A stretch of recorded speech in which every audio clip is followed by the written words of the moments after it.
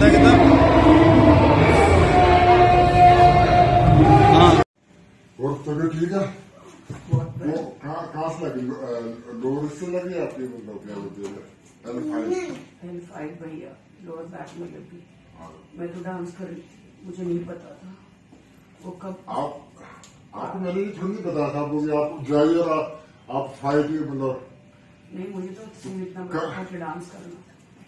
कहाँ पर मिसअंडरस्टैंडिंग हुई है मुझे। पता नहीं वो अपनी रेबेल तो ही पगला गई पता नहीं उसे क्या हो गया। मतलब उसको समझ नहीं आया कुछ मतलब ना हाँ, तो डांस को बताया था उसने उसने उठा के आप रेसलर थोड़ी नहीं आप मैं रेसलर नहीं हम तो डांस कर रहे थे पता नहीं उसको कुछ हुआ उसने